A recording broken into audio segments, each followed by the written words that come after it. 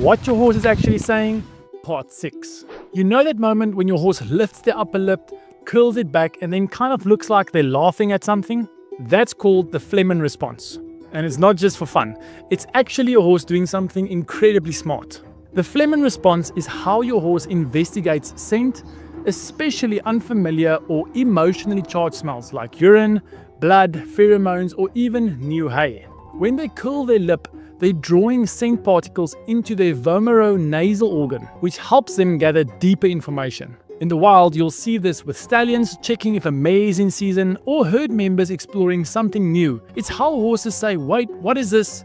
Let me figure this out more deeply. In training or at home, you might see it as when meeting a new horse, when sniffing a person who's been around other horses, after you've touched something strange or intense, or even when something emotionally charged is happening.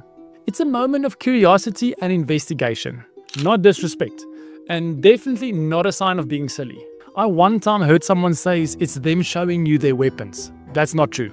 Have you seen your horse do this? Tell me where, when, and what you think they were reacting to.